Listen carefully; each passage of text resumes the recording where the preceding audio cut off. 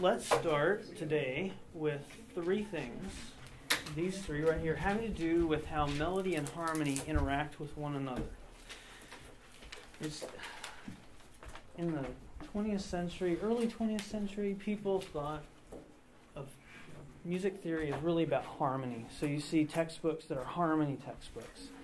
Uh, you don't get a whole lot of melody, and so we're gonna we're gonna actually rectify that a little bit and see how hey the two interact. They're both important. Melodic progression, harmonic progression, they're both important, and they work together, even in some pretty traditional ways. So harmonic function goes way back. We're going to talk about that and how melody, in particular the function of scale degrees, influences the function of the chord overall.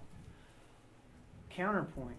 Well, in counterpoint, you have melody sometimes asserting itself sort of counter to what the chords are doing. So chord changes happen, but suspensions say, uh, not yet, thank you very much. And, and also re- retardations do the same thing. They say, okay, you might want to change, but I'm going to change a little later. you know, so they, they do their own thing, and the, so the melody, in a sense, is asserting itself, interacting with the with the harmony. In a way, it's um, like I said, asserting itself, so that you see the impulse, the melodic impulse, duking it out. So they're interacting, but in a, at least in this analogy, in a in a kind of a competitive manner. but anyway, number three, compound melody. Compound melody means you have a melody that implies multiple voices, multiple melodies. So it's a melody that's drawing from various melodies that could have just been a separate soprano, alto, tenor, whatever, lines. So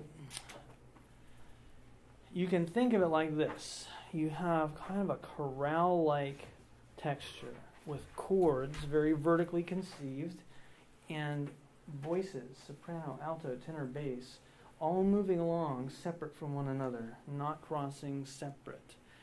And here's a melody that draws resources from these by hopping around and moving about from part to part to become a more elaborate melody and involving more leaps because it's got to move between those parts. That's what a compound melody is. It's where you you have a melody that even if it sounds alone can itself imply harmony. So you can hear harmonic changes in a single melody when it's one of these sorts, a compound melody. You can even, without compound melody, hear harmonic implications, right? That's true.